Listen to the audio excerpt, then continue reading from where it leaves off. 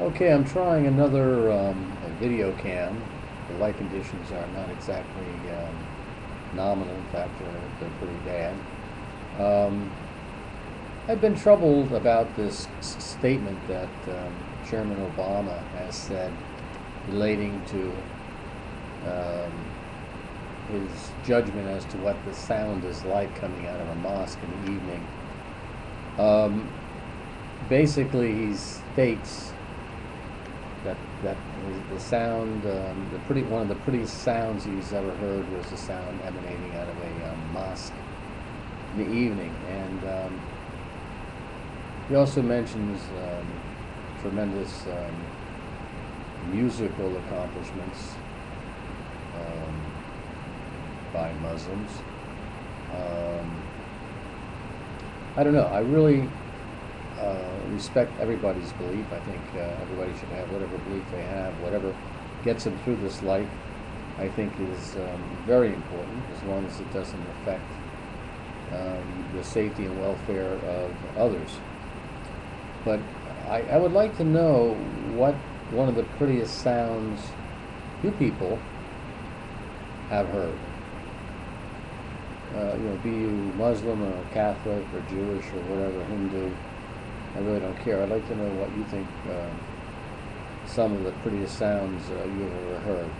It's almost as if Obama is obligated by faith to protect the Muslims, uh, not to infuriate them, like when he wouldn't wear the American flag pin, he wouldn't he wouldn't salute the flag.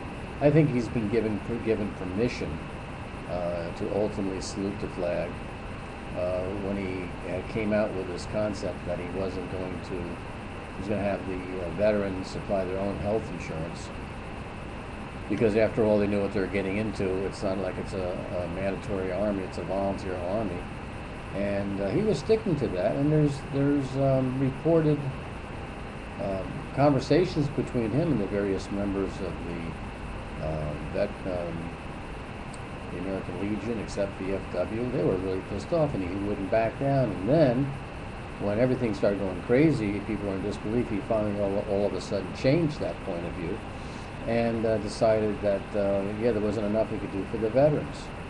But there's something going on here, folks, and um, whether you call it the Manchurian Candidate or something very, very, very strange going on uh, regarding uh, Chairman Obama and the um, the degree at which his real supporters, hardcore supporters, could care less what he does. They, they, they can't find any fault in anything he does.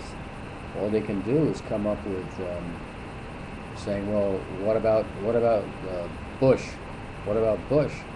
And you know, I voted for both Bushes, and unfortunately, I would have to say that I would still have voted for both Bushes again, because the alternatives really um, are not that good. In the case of um, this last election, I voted for um, Ralph Nader uh, because I saw on the vote on the bailout that both Obama and uh, our buddy uh, John McCain were all, you know, being paid uh, by the same the same people. And when when John McCain said, "Don't worry about Obama getting um, elected because nothing terrible will happen," um, you know, I'm thinking to myself, well, why should I worry about it if Obama gets elected? I mean, if nothing terrible is going to happen. And now you have Pelosi saying that ideally it shouldn't matter who you vote for because they all have the same spirit, same, they should all have the same spirit and goals and objectives for the general welfare of the people and all that. So therefore, you know, elections are really highly overrated. And here we are in a time when I am being forced to buy um, health insurance against my wishes, taking money that I could much better spend on healthy food, vitamins, and basically decide what kind of treatment I'm going to have. Right now, they're forcing me to buy a health insurance policy which would offer treatments which, you know, 90% of them I wouldn't take. So you have to understand that um, this is a real uh, infringement of my liberties as to what I want to do. Yet, he was giving um, hundreds and hundreds of companies exemptions to this mandatory health insurance uh, issue. I find that very disturbing, but nothing seems to disturb you know, a lot of you people, nothing. There's nothing this guy can do that'll make you come unglued. It's like you're either hypnotized or you're afraid if you say anything, your head's going to blow up. Maybe they put a chip in your brain. I don't know. Being a little facetious there, but I mean, there's something very, very, very strange. And uh, I give, uh, you know, Donald Trump uh, credit for speaking out. And, you know, I would feel better him being president than, say, Huckabee or uh, obviously um, the, uh, the guy from Massachusetts. Um, what, Mitt Romney? I mean, this guy, you know, he might make a good male model for uh, a, um, you know, Sears or something like that, or J.C. Penney's. But as far as representing my thoughts, my philosophies, this guy is no, no good. So anyhow, that's what I'd like to ask you folks once again. What what is the one of the prettiest sounds you've ever heard? And I don't think it's what's emanating out of a mosque or uh, in the evening.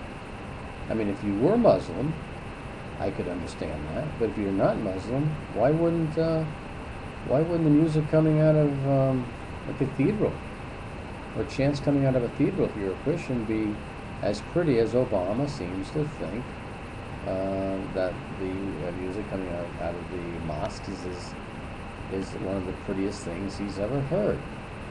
I think that's what he used, prettiest. I thought pretty had to do with visual things. I don't know. We have to look that up. Anyhow, that's that's splitting hairs. There's something obviously going wrong here, based on his appointments, based upon who he hung out with, Bill Ayers, um, and it's obvious that the media is is basically out of control here. Yet I heard a very very um, interesting thing on Channel 13 on this, uh, and I guess in the 20s and stuff. We sent over. Um, a lot of aid to the Russians. I mean, they were starving to death over there. We sent truckloads and truckloads and um, shiploads of grain. Uh, we gave it to them. And um, you don't hear about it. This is the first time I've heard about it, and I'm hearing it from the quote leftist um, uh, Channel 13. I want to commend them for doing something on that.